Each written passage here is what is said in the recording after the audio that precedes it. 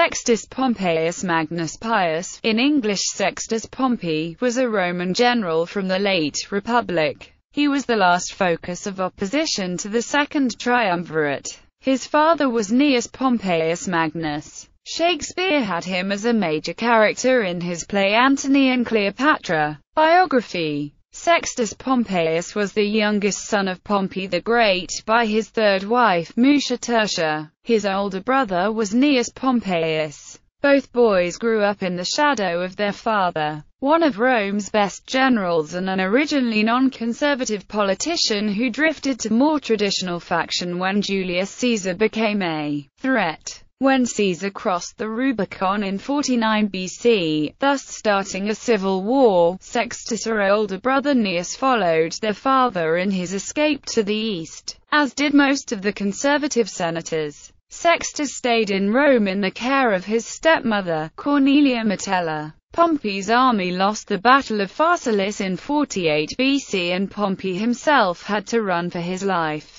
Cornelia and Sextus met him in the island of Lesbos and together they fled to Egypt. On the arrival, Sextus watched his father being killed by treachery on September 29 of the same year. After the murder, Cornelia returned to Rome, but in the following years, Sextus joined the resistance against Caesar in the African provinces. Together with Metellus Scipio, Cato the Younger, his brother Gnaeus and other senators, they prepared to oppose Caesar and his army to the end. Caesar won the first battle at Thapsus in 46 BC against Metellus Scipio and Cato, who committed suicide. In 45 BC, Caesar managed to defeat the Pompeius brothers in the Battle of Munda, in Hispania. Gnaeus Pompeius was executed, but young Sextus escaped once more, this time to Sicily. Back in Rome, Julius Caesar was killed on the Ides of March 44 BC by a group of senators led by Cassius and Brutus.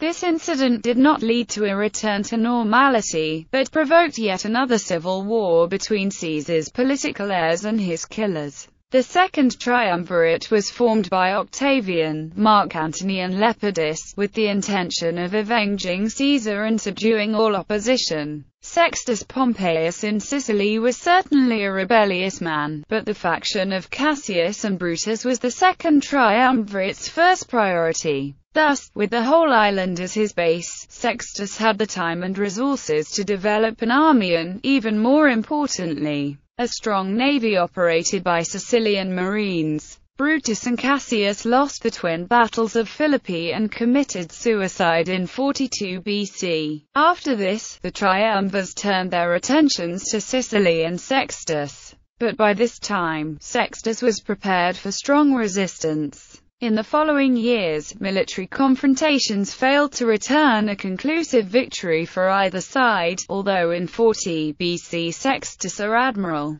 the freedman Menas, seized Sardinia from Octavian's governor Marcus Lurius. In 39 BC, Sextus and the Triumvirs signed for peace in the Pact of Misenum. The reason for this peace treaty was to secure the West before the anticipated campaign against the Parthian Empire. Antony, the leader of Rome's eastern provinces, needed a large number of legions for the coming campaign, which would take his army through Mesopotamia, Armenia, and Parthia. Thus an armistice with Sextus large forces on Sicily proved useful. However, the peace did not last for long. In Antony's absence, Octavian renewed the conflict against Sextus. Sextus and Octavian accused one another of violating the terms of the Pact of Misenum, but the final straw was the betrayal of Sardinia to Octavian by Menas.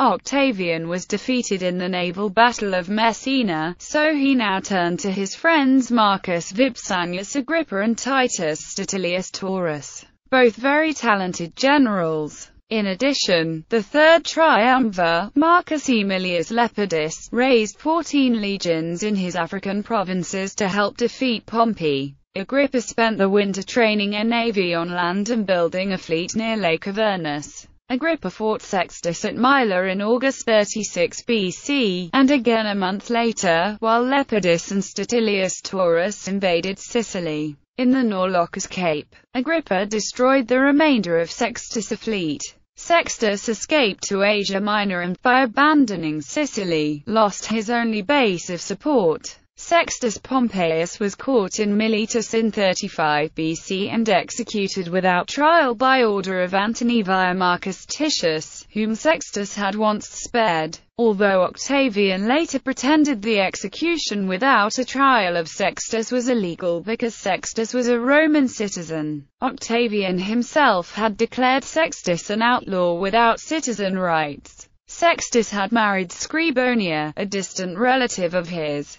Scribonia was the daughter of Lucius Scribonius Libo, consul of 34 BC. Sextus and Scribonia had a daughter and only child called Pompeia Magna. As an affine to both Sextus and Octavian, Scribonius Libo had played a role in brokering peace between Sextus and the Triumvirate, and had very reluctantly abandoned Sextus in 36 35 in return for which he had received the consulship.